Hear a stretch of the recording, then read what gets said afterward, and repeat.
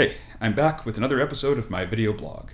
So, for those who are new to the blog or who need a reminder, I'm Fox, and I'm a henchman for Dr. Apogee. And Dr. this week Apogee I want to is talk. a trademark of Apogee Enterprises. Okay, that's milked from legal. Uh, I guess Dr. Apogee found out about my blog, so he sent him Dr. here Apogee to is a keep an eye on of me. Apogee You- You, said that already. You should be saying it every time you mention Dr. Apogee's name.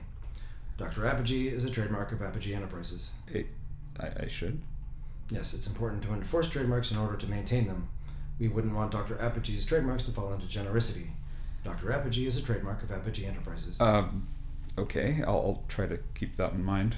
Please see that you do. Uh, so, um, as, as I was saying, uh, this week I wanted to talk about the uh, training regimen that all the henchmen go through every morning. So there's this obstacle course down by the permutation chambers. Permutation that- that- Chambers is a trademark of Apogee Enterprises. is a trademark of Apogee Enterprises, apparently.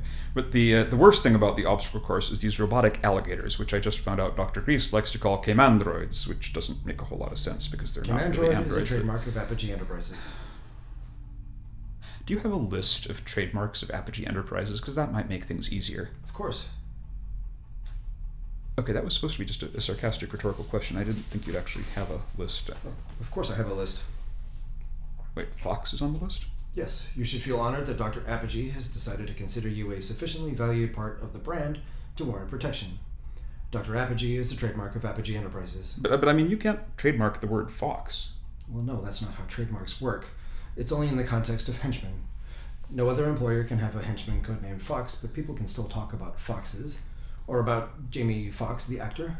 Uh, my real name is also on the list. Well, yes, we don't expect your real name to become public, but thought it was best be best just to protect it just in case. So, in what context is that protected? Can I not use my real name? Well, when do you use your real name anyway?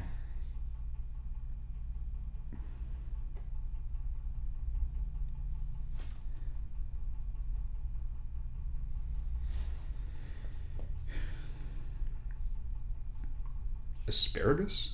Asparagus is a registered trademark of Apogee Enterprises. I'm pretty sure it isn't. Well, admittedly, in this case, not yet. That application is still being processed. Uh, so, is that another only in context thing? Like, is there a henchman named Asparagus? Because if there is, I haven't met him, but I don't know all the henchmen here. Also, if there is a henchman named Asparagus, I kind of feel sorry for him. No, this is an entirely different case. We intend to trademark asparagus for a variety of common applications. But I mean, you can't do that, can you? It's uh, asparagus has been around for.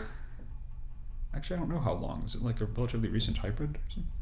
No, asparagus has been around for thousands of years. In fact, in colonial times, it was commonly called sparrowgrass, which you'll notice is also on the list. Um, Bottom of page three, why is that on the list? just covering the bases.